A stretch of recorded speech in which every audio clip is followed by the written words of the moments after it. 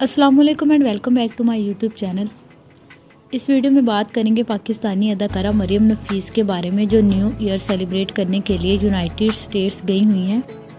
इन्होंने वहाँ अपने शोहर अमान के साथ न्यू ईयर सेलिब्रेट किया। इस मौका पर इन्होंने बहुत बेहुदा लिबास पहना हुआ था। इन्होंने वहाँ कुछ पिक्चर्स बनाई, उन्हें इन्हें अपने इंस्टाग्राम अकाउंट पर अपने फैंस के साथ शेयर किया। इन पिक्चर्स के पोस्ट होते ही लोग इन पर बहुत तनकीद करने लगे।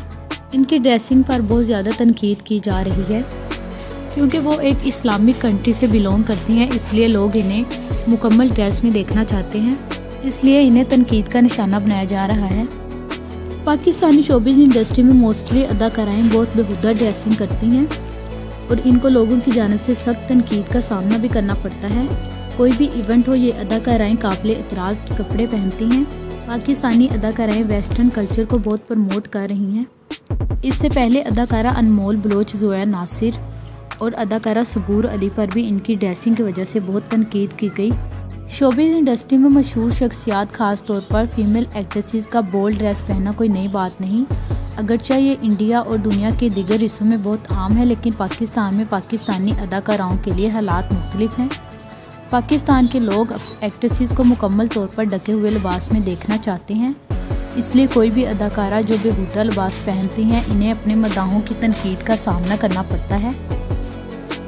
पाकिस्तानी शोबिज इंडस्ट्री में ऐसी बहुत सी एक्ट्रेसेस हैं जो नॉर्मली ऐसी ड्रेसिंग करती हैं। कोई भी इवेंट हो, अवार्ड शो हो, अदाकारों का बोल्ड ड्रेस पहनना कोई नई बात नहीं है। कोई भी इवेंट हो या अवार्ड शो हो, अदाकाराएँ ऐसी ही ड्रेसिंग करती हैं और इन्हें हर दफ़ा लोगों की तनकीद का सामना करना पड़ता है। रिसेंटली हम स्टाइल अवार्ड और लक स्टाइल अवार्ड 2022 में भी इन्हें अपनी ड्रेसिंग की वजह से बहुत क्रिटिसिज्म का सामना करना पड़ा।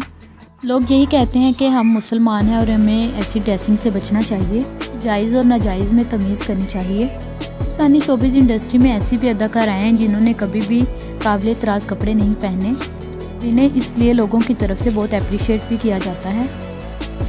आपका इस वीडियो पर पॉइंट ऑफ़ व्यू क्या है? कमेंट्स में ज़रूर बताएँ। वीडियो पसंद आई हो तो वीडियो को लाइक और शेयर कर दें और चैनल को सब्सक्राइब कर लें। Thank you so much for watching my videos मिलेंगे अगली वीडियो के साथ अब तक के लिए, अल्लाह हाफिज़।